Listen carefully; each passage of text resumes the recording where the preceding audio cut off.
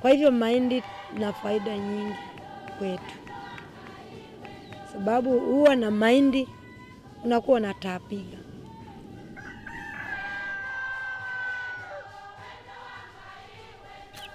Kwa hivyo hiyo mbegu nzuri ya mahindi inakufanya next season uwe na mbegu nzuri.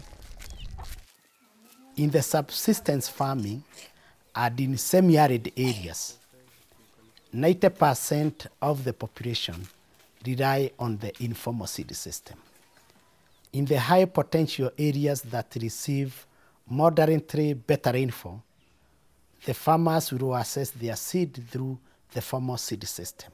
And basically, like for maize, they will get hybrid seed.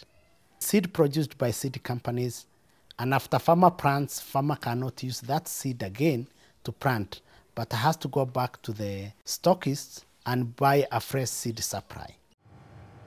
The formal system is very important in seed production in that it's a sure way of starting off with quality planting material and it's a sure way of reducing risks of failure. And in this kind of environment, this tropical environment, there are so many obstacles to achieving high yield. The international institutions play a big role in shaping um, the seed policy in the country in that uh, we are trading with them. So some of the standards set in the international world affect us.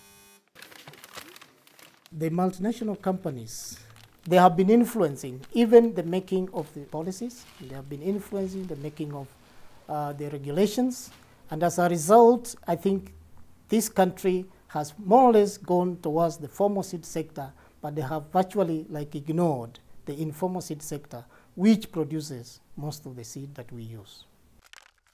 It is important that uh, we support the informal seed sector to drive in the direction of having that farming activity as a business. And the only way of doing that is by having quality seed available to them.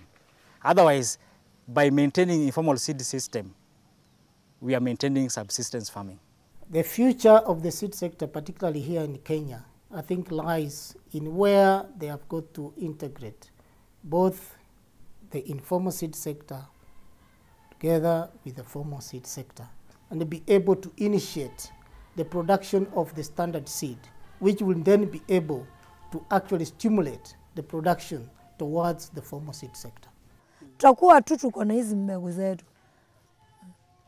Kama tungepata wasaidizi, ungeona watu wengi, ama tungepata wasaidizi tukafundisha watu kuhifadhi hizi mbegu. Hizi mbegu ya mahindi iwezi ikaisha kwa watu wetu.